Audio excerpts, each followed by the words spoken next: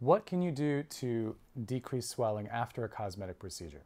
I am Dr. Cohen with the Cohen Clinic, and this is something we get asked about all the time. And let's say you just had a rhinoplasty or a facelift procedure. These are there are some things that you can do to help decrease the healing and try to maximize your recovery. So it comes down to a few different categories. We have activity, uh, decreased activity. There is things that you're doing with um, positioning, trying to how to lay, how to sit to improve swelling.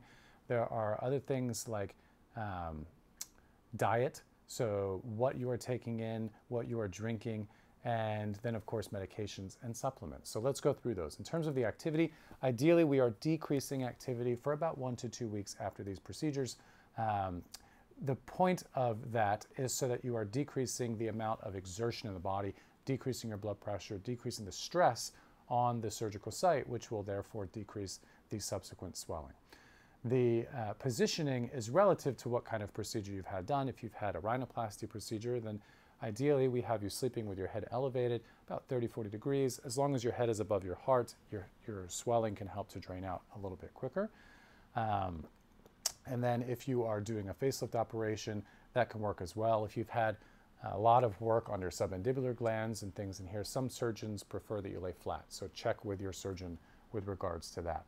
Uh, when it comes to diet, so uh, high salt foods, high sodium foods will help you retain water, which is not great when you are swelling and healing after an operation. So I always encourage my patients to do a low salt diet for about one to two weeks to help minimize the swelling.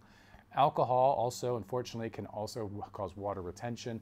Uh, we all know this, you got on a bender, the next morning you're gonna be super puffy and swollen. That's not what you want when you are healing. So avoiding alcohol for one to two weeks can also be helpful.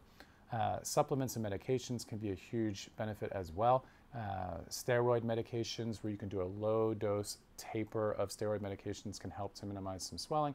And then supplements like arnica, bromelain, uh, vitamin C. These are the three key ones that I believe help to minimize swelling and quicken your recovery. That is the goal here. So I hope this is helpful. Uh, if you want to learn more, please DM me, comment below, and reach out. Follow along as well. And uh, we will talk to you very soon.